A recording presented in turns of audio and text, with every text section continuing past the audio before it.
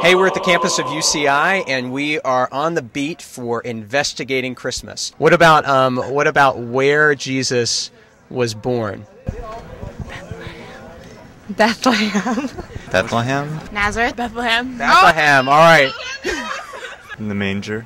Is Jerusalem or Nazareth? I can be a little tricky.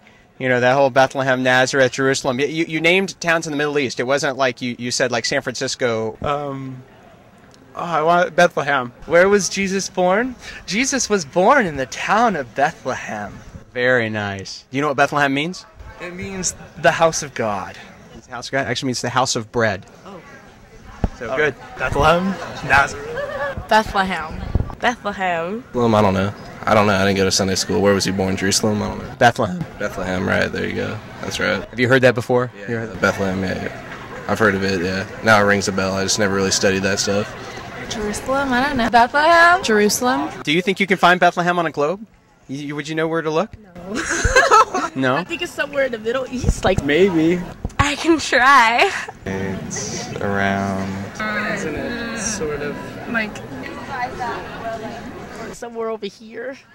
Uh, there's Athens. There's. Wait, where's Iran? In Israel and um, Israel. You're over in China right now. I- right up there, right up in the Ukraine. in Israel, wherever Israel is. No, like we're like we're like Okay, over now you're in here. Africa. No, it's not in Africa. Northern Europe? Africa. No. It's in Middle East. Where is Okay. that? No, it's not over here. Okay. Canada. Was he in Canada? No. no. he was in Bethlehem. Mexico. Totally must have been in Mexico. Mexico. Wait, where is it? Okay.